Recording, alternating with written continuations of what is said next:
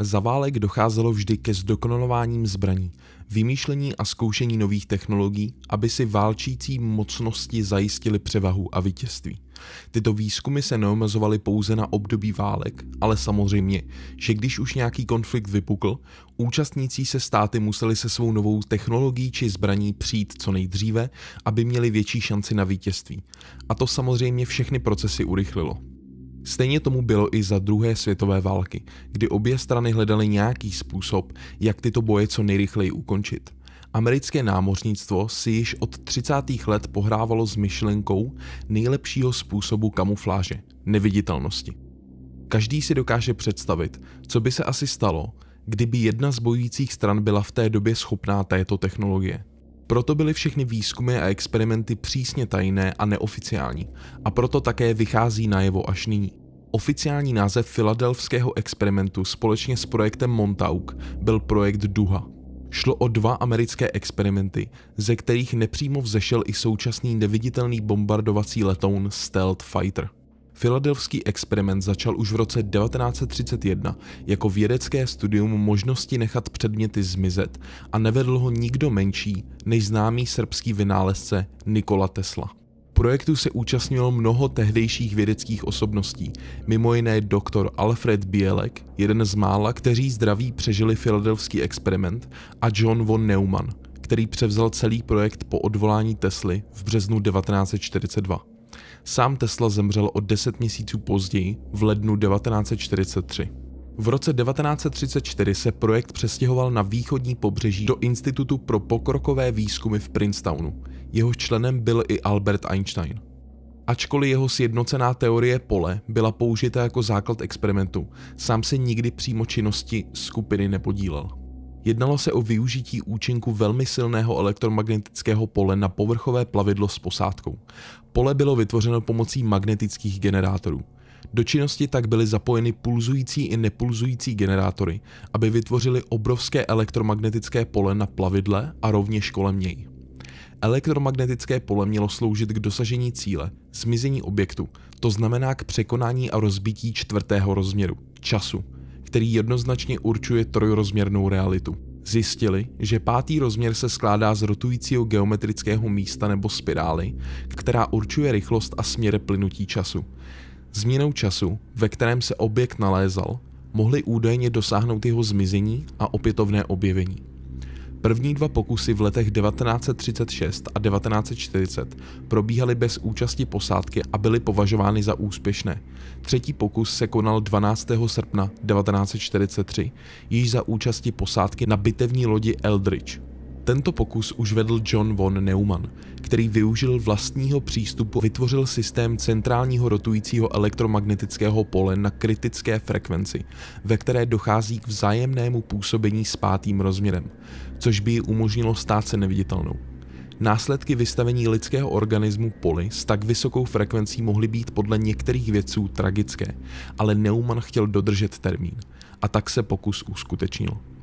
Když experiment začal, objevilo se mlhavé zelené světlo, podobné tomu, o kterém vyprávějí lidé, když přežili události v Bermudském trouhelníku, popisující světelkující zelenkavou mlhu. Brzy byla celá loď zahalena do této mlhy a plavidlo se společně s posádkou začalo vytrácet z dohledu lidí, pokud nebylo vidět nic, kromě jasně vymezeného tvaru lodního trupu ve vodě. Ovšem za předpokladu, že pozorující osoba byla dostatečně blízko, aby viděla a přesto venku spole. Po několika desítkách minut se loď znovu objevila na místě, kde předtím zmizela. Ve filadelfských docích. To však nebylo všechno. Později bylo oznámeno, že se loď během doby pokusu objevila v Norfolku, ve vojenském námořním přístavu ve Virginii, což je místo vzdálené přes 400 kilometrů. To znamená, že se podařilo nejen zviditelnit obrovskou válečnou loď, ale také tento několika set tunový kolos teleportovat. To ale nebylo poslední překvapení, které čekalo na vědce po opětovném objevení lodi. Část lodi byla poškozena, některé části chyběly úplně, ale nikdo nedokázal dát spolehlivou odpověď, co se vlastně stalo. Část posádky zmizela také. Někteří byli pevně zapuštěni do tropu lodi. Jeden námořník měl do lodi zapuštěny pouze ruce, tak mu mohly být amputovány. Zbytek členů posádky byl v úplně vyšinutém stavu hysterie nebo šílenství a ti byli převezeni do nemocnice Bethesda Naval Hospital, kde byli drženi, odloučeni od světa po zbytek trvání války a kde jim byla poskytována odborná pomoc, když jim začala vynechávat paměť, případně když přestali ovládat svá těla. Muž takto zasažený se o své vlastní vůli nemůže pohnout. Pouze tehdy, když dva nebo více z těch, kteří byli na lodi s ním, rychle přijdou a dotknou se ho. Jinak stuhne. Pokud stuhne, jeho pozice musí být pečlivě označena, protože tak ztrácí svou viditelnou podobu. Pak se musí nejnovější člen posádky přiblížit k označenému místu, kde najde jen obličej nebo pouhou kůži stuhlého muže. Jeho stav trvá většinou kolem hodiny, někdy však také celý den nebo noc. Ale někdy také mnohem déle. Jednou to trvalo 6 měsíců, než muž rozmrzl.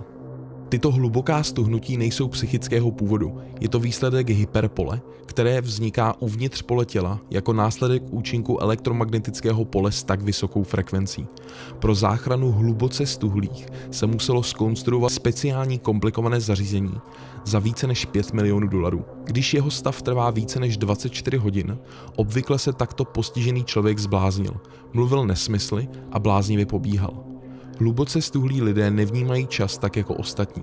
Jsou jako lidé v koumatu. Žijí, dýchají, vidí a cítí.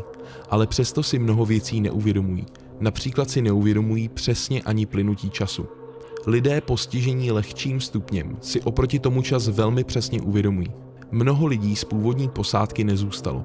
Většina se zbláznila, jeden prošel zdí za vidinou své ženy. Nikdo ho již nikdy nespatřil, i když okolní oblasti byly pečlivě prohledány, Nebylo z něj nalezeno nic. Na druhé straně zdi se už neobjevil. Jeden muž nesl malý kovový kompas a z ničeho nic začal hořet. Další přiběhl, aby se ho dotkl, ale vzplál také. Alfred Bielek a jeho bratr se za strašných zmatků, které probíhaly na palubě v průběhu pokusu, kdy lidé a věci zmizely, snažili co nejrychleji dostat z lodi a tak se rozhodli skočit přes palubu. Ale čekalo je ohromné překvapení. Místo, aby dopadli do vody, jak by se mohlo očekávat, ocitli se ve vojenském zařízení v Montauku ve státě New York, ve Fort Hero. Ne však v roce 1943, ale o 40 let později, v roce 1983. Setkali se tam s o 40 let starším doktorem Johnem Van Neumannem, který pracoval na experimentu pod názvem Phoenix. Pokračovatelem experimentu Rainbow – v Montauku byli ve vojenském podzemním zařízení mimozemštěnů s vyspělým počítačovým systémem a dokonalým vybavením. Viděli helikoptéry, tryskový letoun Boeing 474, dokonce měli možnost podívat se na barevnou televizi. To všechno bylo ve 40. let, zatím nedosažitelný sen.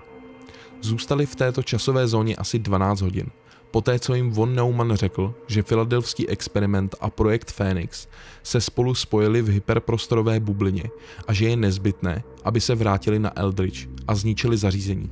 Připustil, že vytvořil umělou realitu, která se nedá ovládat.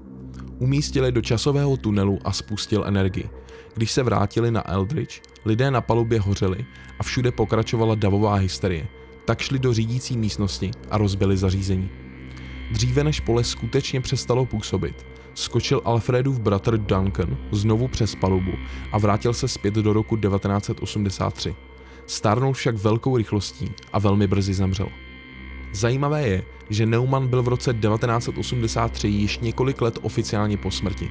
Jedno z možných dalších vysvětlení by mohlo být, že se Eldridge během pokusu dostal do paralelního vesmíru, kde je možná mnoho věcí podobných, ale mnoho jich je také zcela jiných. Další možné vysvětlení je, že jeho smrt byla pouze zastírající manévr a Bielek totiž tvrdí, že Neumann skutečně v roce 1983 pokračoval s experimentem Phoenix a že jeho pohřeb byl fingovaný. Doktor Morris K. Jessup pracoval ve 40. letech tedy v době, kdy se filadelfský experiment uskutečnil pro FBI. Byl to světoznámý astronom, vydával vědecké publikace a přispíval do vědeckých časopisů. Měl na starosti největší teleskop na jižní polokouli – Řídil několik výzkumů zatemnění, objevil některé dvojhvězdy a měl skvělé vědecké výsledky. Možná se filadelfského experimentu sám zúčastnil, možná byl pouze očitým svědkem, ale vážně se o něj začal zajímat. Když mu nějaký člověk se jménem Carlos Allende napsal v roce 1956 v souvislosti s Jessupovou knihou The Case for the UFO o jeho vlastní teorii filadelfského experimentu – Allen také tvrdil, že je jeden z těch, kteří tento pokus přežili. Allende si začal s Jasupem dopisovat a ten mu přirozeně odpovídal stejným způsobem jako každý autor na dopisy svých fanoušků. Nějakou dobu po navázání této korespondence požádala ONR, kancelář námořního výzkumu, Jasupa, aby se dostavil do Washingtonu. Musíme si připomenout, že cenzura zadržela všechny informace o tomto experimentu, kromě jediného krátkého článku ve filadelfských novinách. Ukázali Jessupovi kopii jeho knihy, do které někdo ručně vepsal obsáhlé poznámky k jeho teorii týkajících se filadelfského experimentu a činnosti UFO, a která se záhadně objevila v kanceláři námořního výzkumu. Dotazovali se Jessupa, jestli poznává rukopisy zjevně tří různých lidí, kteří své poznámky označili svými iniciály. Jasup měl pocit, že poznává jedno písmo jako to, které patří Allenovi a odevzdal Allenovi dopis ONR. Námořní oddělení dalo následovně pořídit texaskou společnost Varo v Gerlandu zcela stejných kopiích knihy, poznačené poznámky červeným písmem Jasupovi, který obdržel tři kopie. Řekli, že jde o náklad jen pro nejvyšší úředníky a pro potřeby oddělení. A pro potřeby oddělení. Námořnictvo nikdy nic oficiálně o experimentu nepřipustilo, ale bez pochyby je kniha velmi zajímala. Jasup také zjistil, že se bezúspěšně pokusil vystupovat Alenda podle zpáteční adresy na dopise, že ani další komentátoři, kteří psali o Jasupově knize, nikdy nebyli nalezeni. Jasup tedy začal sbírat všechny dostupné materiály a informace o filadelfském experimentu, vyptával se státních úřadů a začal získávat o projektu ucelený pohled. Dne 20. dubna 1959 zavolal svému příteli, známému přírodověci a ufologovi Ivanu Sandersonovi, že odpoledne přijde a seznámí jeho a přátele s celým filadelským případem. Ke svému příteli se už ale nedostal. Hlídač Mason Hemokova partu John Good v 1845 na své poslední objížďce našel Jasupa v jeho automobilu s hadicí nataženou od výfuku k zadnímu okénku. Okno bylo ucpáno mokrými hadry. Když přišla odborná lékařská pomoc, mohla už konstatovat pouze smrt. Ti, kteří Jasupa znali, znovu a znovu tvrdili, že nic nenasvědčovalo k tomu, že by chtěl spáchat sebevraždu. Netrpěl depresemi a v jeho životě nedocházelo k žádným zvratům. Zdálo by se, že je šťastný. Měl práci, rodinu, spoustu přátel a věnoval mnoho úsilí svému výzkumu UFO. Chyba nejspíše byla, že výzkum spojoval s filadelfským experimentem a proto se také stal pravděpodobně prvním terčem, který měl být umlčen. UFO a experiment by podle všeho mohly mít mnoho společného. Materiály, které se sbíral Jessup, se dodnes nepodařilo najít. Je však pravděpodobné, že by mohly být schovány u Ivana Sandersna, ten je však nyní také po smrti a ze svého života nic neprozradil. Proto by se také dalo říct, že vlastně neexistují žádné přímé důkazy o uskutečnění experimentu nebo o jeho úspěších teleportovat či zneviditelnit obrovskou bitevní loď. To vše dokázali pochopit, pouze však na teoretické rovině, jen nejbriliantnější mozky našeho století, jako jsou například Albert Einstein či Nikola Tesla. Jediným praktickým uskutečněním se zdají být již výše zmíněné projekty, o kterých se dozvídáme z pramenů, jako je kniha Filadelfský experiment, záhada Bermudského trouhelníku nebo jakým je například internet. Na druhou stranu nemůžeme očekávat, že by vláda byla ochotna poskytnout nějaký důkazní materiál. Albert Bielek se narodil jako Edward A. Cameron 4. srpna 1916, syn Alexandra Duncana Camerona. Jeho otec byl odveden k námořnictvu dříve, než USA vstoupili do první světové války. Bratr Alexander Duncan se narodil v květnu o rok později. Edward Bielek šel studovat na Princeton a později na Harvard, kde získal doktorát z fyziky.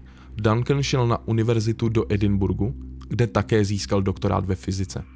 V září 1939 byli oba odvedeni jako poručíci k námořnictvu a absolvovali 90-denní výcvikový kurz pro důstojníky se speciálním pověřením v Providence na Rhode Islandu. Po skončení výcviku byli přiděleni k Institutu pokročilých věd na Princeton v New Jersey a přidali se k již probíhajícímu projektu Duha. V lednu 1941 byli posláni na moře na ponorce Pennsylvania než byla v říjnu odstavena do suchého doku v Pearl Harbor. Začátkem února 1942 se vrátili do institutu, kde pokračovali v práci na projektu, Jehož součástí byl filadelský experiment. Dne 2. srpna 1943 se uskutečnil druhý pokus, při kterém Alův bratr Duncan zůstal v roce 1983 a brzy zemřel. Projekt byl přerušen a Edward nějaký čas spolupracoval na projektu Manhattan v Novém Mexiku v Los Alamos, kde se účastnil práci na vývoji první atomové bomby. Byl zatčen a obviněn ze špionáže, ale místo, aby byl převezen k vrchnímu soudu do Washingtonu, byl odvezen do vojenské základny Fort Hero v Montauku, kde mu totálně vymazali paměť a odkud byl posléze poslán do minulosti, konkrétně do roku 1927, kde byl jako jednoleté dítě umístěn do Biekovy rodiny, která ho vychovala. Tak přišel ke jménu Alfred. Jako Alfred vystudoval techniku, pokoušel se o podnikání, ale neuspěl. Poté prožil 30-letou úspěšnou kariéru elektroinženýra. Projekt Phoenix byl pokračovatelem projektu Duha, kde se armáda kolem roku 1947 vrátila k filadelfskému experimentu a snažila se vyřešit otázku, jak upravit přístroje, aby jejich účinky byly únosné pro lidi a experiment tak mohl být použit v praxi. Projekt Phoenix začal v Brookhavenských národních laboratořích na Long Islandu a částečně se ho účastnila skupina vědců známých již z období před druhou světovou válkou, včetně von Neumana. Byl to právě on, kdo ten problém vyřešil, a sice tak, že všechny kroky experimentu nechal provádět speciálním elektromagnetickým přístrojem, který k tomuto účelu vyrobil v letech 1949 až 1951. Takto vynalezl počítač, jehož obdoba do té doby neexistovala. Existují veřejně známé informace o tom, že americké lodě mizí z obrazovek radaru a dokonce, i když je sledovalo soukromé letadlo, prostě zmizely a o tři dny později se opět objevily na radaru o 5000 km dál. Ovšem projekt Phoenix se rozvíjel také jiným směrem. Začal se zabývat ovládáním a ovlivňováním lidských myšlenek, bylo je prý možné pomocí vodného zařízení přenést do počítače, kde byly uloženy a mohly být opět vyvolány. Dosáhlo se i toho, že médium s paranormálními schopnostmi mohlo vyslat svoje myšlenky a prostřednictvím počítače ovlivnit mysl jiných lidí. A tak v rámci projektu Phoenix vědci do značné míry proskoumali, jak vlastně lidská mysl pracuje objevily se hrozivé možnosti ovlivňování lidského vědomí. Americký kongres, který obdržel o těchto výzkumech podrobnou zprávu z obav před možným dalekosáhlým zneužitím výsledků, vše zastavil, alespoň oficiální cestou. Skupina vysoce postavených důstojníků se však možnosti ovlivňování myšlení nepřítele nechtěla vzdát. Výzkum tak pokračoval dále. Ovšem nyní již v rámci přísně tajného projektu Montauk. 12. srpna 1983 se projekt Phoenix spojil filadelským experimentem. Té noci projekt zkrachoval. Objevil se netvor, který vypadal téměř jako himalajský sněžný muž. Jehož výška byla odhadnuta od 4 do 9 metrů, podle míry strachu přihlížejících. Tvor ničil všechno kolem sebe.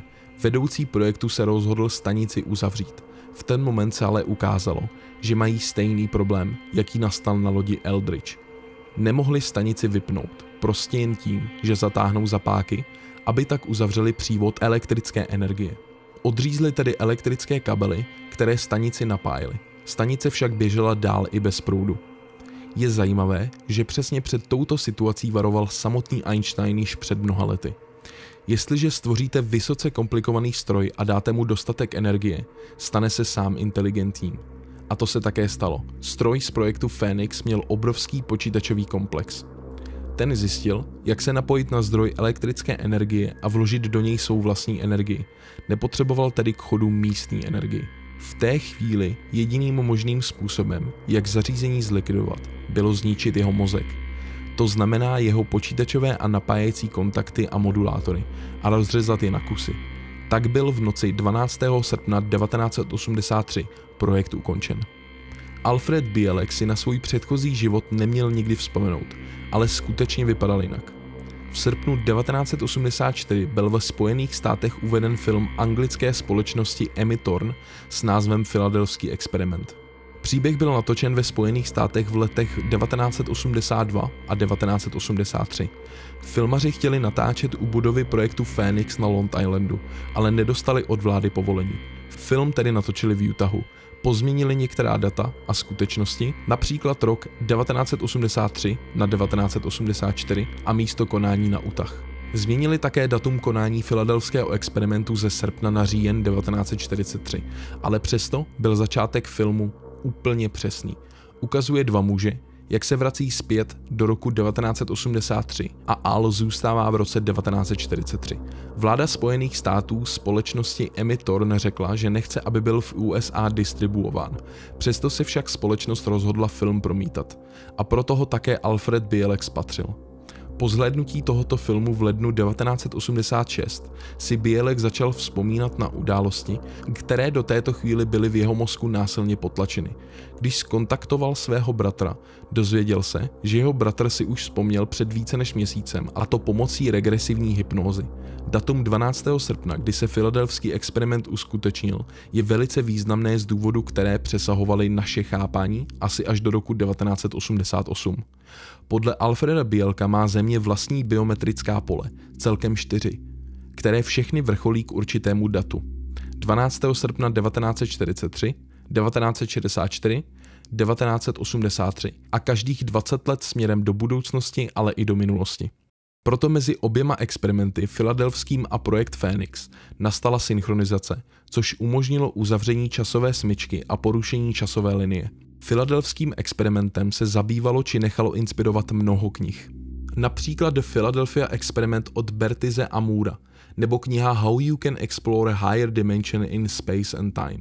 Kniha se sice nezabývá podrobně filadelfským experimentem, ale dokumentuje jisté další teoretické aspekty, které s tímto pokusem souvisejí. V knize se Pavliky vrací k základním pojmům, aby vysvětlil náš trojrozměrný vesmír a způsob, jak se za tyto rozměry dostat. Začínáte u bodu. První rozměr je přímka. Dva rozměry představuje trouhelník. Je to nejmenší možné vyjádření uzavření dvourozměrné konstrukce na papíře. Pomocí jakéhokoliv předmětu si můžeme představit trojrozměrnou strukturu. Kniha se také pokouší ukázat, co se děje, když zvýšíte až za jakýsi limit, za nějž Einstein považoval rychlost světla c. Učebnice praví, že podle Einsteina je c limitující rychlost pohybu čehokoliv ve vesmíru. Když zrychlíme hmotu až na rychlost světla, ztratí jeden ze svých rozměrů. Stane se plochým předmětem. Ale není to tak úplně pravda. Hmota rotuje v časoprostoru a jeden rozměr nestrácí. To, že se délka předmětu pohybujícího se rychlostí blízkou rychlosti světla zkracuje, se jeví pouze pozorovateli na stanovišti, které se vzhledem k předmětu nepohybuje. Nákresy a text knihy objasňují, že když se rychlost pohybu blíží k rychlosti světla, začínáte se zkracovat a pohybovat po spirále. Nejdůležitějším aspektem, kterým se Pavlicky ve své knize zabývá, je tzv. anuloid, nebo torus času. Einstein prohlásil, že v našem vesmíru neexistuje nic takového, jako je přímka. Vyjdete-li z jednoho bodu kterýmkoliv směrem a půjdete-li stále po přímce, dost daleko, obejdete celý kruh a vrátíte se tam, odkud jste vyšli. To platí i o čase. Je to také uzavřený kruh, který někdy nazýváme torus času. Co to znamená? Představit si to je dost obtížné, protože rozměrem jde o gigantickou záležitost. Znamená to, že v centru tohoto anuloidu čas plyne lineární rychlostí, po obvodu čas plyne ve spirále. Když vyjdete ze středu k vnějšímu okraji, ocitnete se v jiné realitě. Jestliže budete pokračovat po okraji, dostanete se do alternativních realit, paralelních k vaší vlastní. Je to nesmírně důležitý bod z hlediska mechanismu zmizení torpédoborce Eldridge i jiných objektů. Eldridge sice cestoval časem, ale ve skutečnosti se přesunul do hyperprostoru. Projekt nepředpokládal, že by měl cestovat časem.